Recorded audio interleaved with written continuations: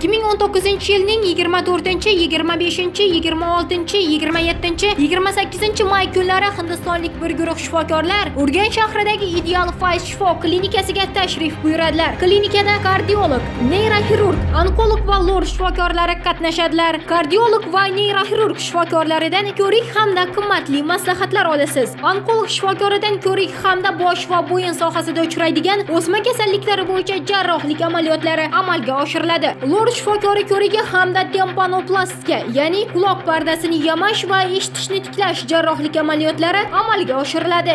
Shoshiling murojaat telefonlari ekraningizda ko'rik vaqti chegaralangan bo'lib faqat ro'yxatga olingan bemorlarga xizmat ko'rsatiladi.